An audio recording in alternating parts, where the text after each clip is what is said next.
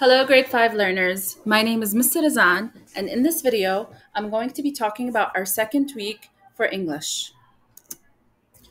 We're going to be starting off the week by focusing on punctuation marks, and we're going to be implementing them in our writing.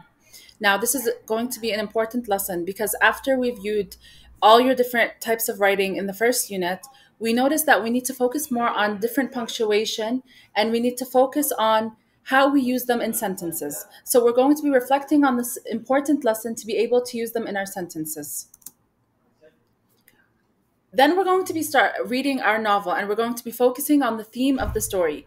We will be starting this new novel called Holes by Louis Sachar and we're going to be implementing different techniques on how we can figure out what a theme is and what the theme of the story is going to be.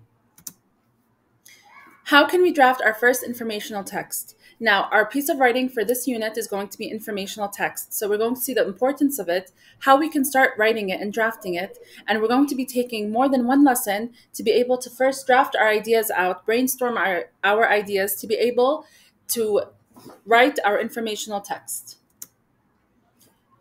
How can we identify the form of prepositions and how can we use them in sentences? We're going to be talking about prepositions and seeing how we can use them in sentences and how it's going to be essential for our writing. This week, we're going to be focusing on reading, writing, and grammar, and we're going to be integrating all of them together. Thank you for watching this video.